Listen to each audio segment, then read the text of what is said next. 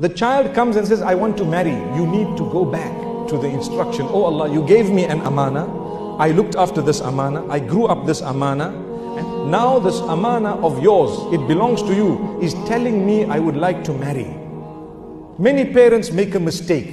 They say to the child, You are ungrateful. I looked after you. I brought you up. I sent you to school. I went to work and spent money on you. I did this. And today you want to marry someone I disagree with that statement is foolish.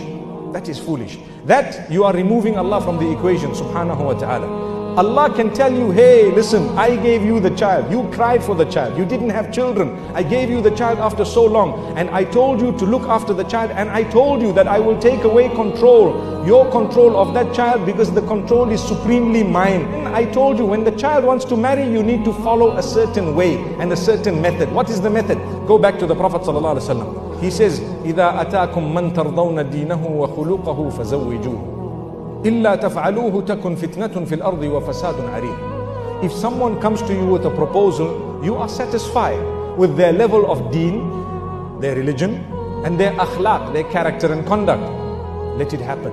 For as long as the child is happy, your daughter is happy, the son is happy, for example. If they are not happy, it will not happen. Did you know that?